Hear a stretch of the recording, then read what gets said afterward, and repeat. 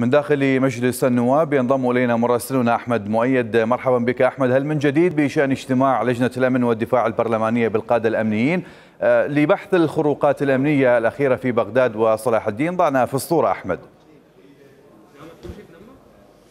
مساء الخير آه، سفيان. قبل قليل كنا متواجدين في القاعة الدستورية حيث اجتماع اللجنة الأمنية مع القادة الأمنيين لمناقشة الخروقات الأمنية التي حصلت أخيرا. الاجتماع لا يزال قائم آه، حتى الاجتماع سري ولم يسمح لنا بالدخول أو التحدث مع أحد من أعضاء لجنة الأمن والدفاع ماذا آه، دار في الاجتماع وماذا سيدور؟ إلى الآن الاجتماع مستمر يعني ولا معلومات متوفرة لدينا حول الاجتماع نظرا لحساسية الموضوع لكن جميع القادة الأمنيين الذين يعني ربما تم استبدال مواقعهم هم حاضرون اليوم داخل مجلس النواب لحضور الاجتماع مع القادة آه، مع لجنة الأمن والدفاع سفيان.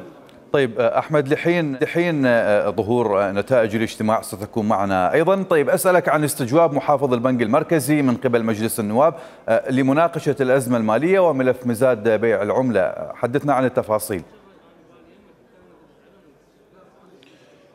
يعني اليوم جدول الاعمال تقريبا لا يحتوي على قوانين مهمة باستثناء استجواب محافظ البنك المركزي، البعض يرى أنه ظاهرة استجواب المسؤولين هي ظاهرة صحية في آه، السلطة التشريعية هنا في بغداد، والبعض الآخر من المراقبين يعتبرونها هي آه، ربما الخطوات الأولى للإطاحة بحكومة الكاظمي من خلال استجوابات آه، ستأتي لاحقا. هناك استجواب لوزير المالية ووزير الكهرباء، ربما في قادم الأيام الاستجواب الغاية منه مناقشة قضية ارتفاع سعر الدولار مع محافظ البنك المركزي وكذلك مناقشة آه، وضع رواتب الموظفين في موازنة 21 ووضع العراق الاقتصادي تحديدا آه، خصوصا مع الأزمة الاقتصادية التي يشهدها البلد.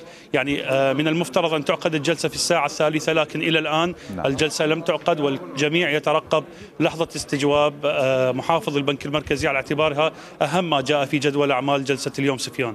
من داخل مجلس النواب مراسلنا أحمد مؤيد أشكرك جزيل الشكر.